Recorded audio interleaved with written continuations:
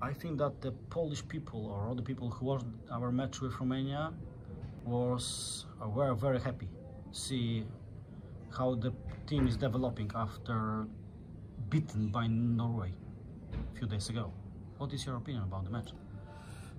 Well, uh, if we uh, another time can talk about first of first first half, it's uh, um, I'm so impressed and I'm so proud of the girls. Uh, if uh, everyone could see where we started two weeks ago in in Koszalin and see where we are now, it's just so impressive because it's not just uh, any team we are playing against today. We are playing against Romania that has some of the best players in the world and you could see that a lot of things what we have been practicing of course the last year but also these last weeks uh, getting to you see it really well when they play uh, the girls believe in it and they are going for it 100% and in the first half sometimes we just play Romania out of the arena. It was fantastic to to watch the attack playing and and also that we did the tactical things we should do in in defense. So so the first uh, 30 minutes today is maybe the best I've seen from uh, from the Polish team. So it really really uh, looks great for if you're thinking about the future now and some years or year forward because this uh, experience and this uh, kind of uh, moments in the game they are now so it's now is happening is really important for the girls for the future.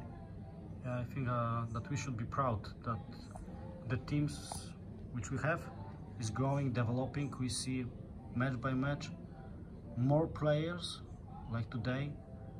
Aleksandra Rosiak develop fantastic. We see Aneta Łabuda today very good defense.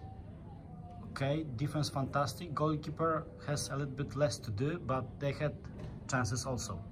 Natalia Nosek, you could, yeah, you could Dagmar Nocuń, you could uh, say a lot of them.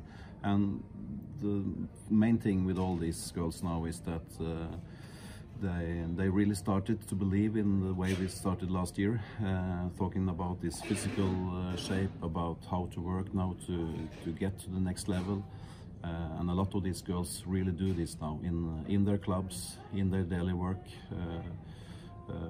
Uh, uh, they got physical coaches in Lublin, in Piotrków, in yeah, in many of the clubs, uh, and we still need more of them to do this. But I know that also where it's not uh, like this, they, the girls really work for it and goes to the gym, goes to the handball trainings, really believe that they can be be better players. And what is really uh, interesting and important is that uh, many of these girls today, you mentioned Łabuda, you mentioned uh, you mentioned uh, more of them. I said Nosek, I said Nocuń, you could say even more names. They are they're not so old actually, they are pretty young players and um, and we know which players we have waiting for us now in some weeks or months that's also back in business. So yeah, I'm really proud of them at this stage and I'm looking forward of the, of the, for the future.